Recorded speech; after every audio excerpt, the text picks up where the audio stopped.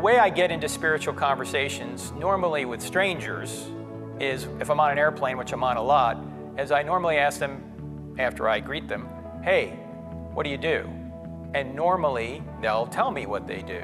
And then to reciprocate, they'll ask me what I do. And I will say, well, I'm an author. I've written a book called I Don't Have Enough Faith to Be an Atheist.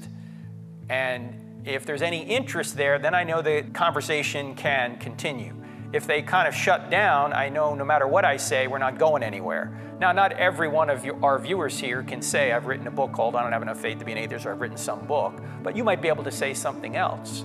Oh, I work uh, for so and so, or I do this, or I do that, or I'm part of this vibrant community at such and such a church, and I do this. You can see if there's any spiritual interest there. There's no sense pushing a rope.